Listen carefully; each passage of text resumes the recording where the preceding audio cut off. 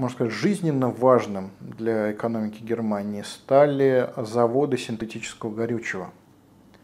А, дело в том, что а, Третий рейх большую часть своей потребности в жидком топливе обеспечивал а, путем производства горючего из каменного угля, которого было в Германии и позднее в оккупированных странах, что называется, очень много.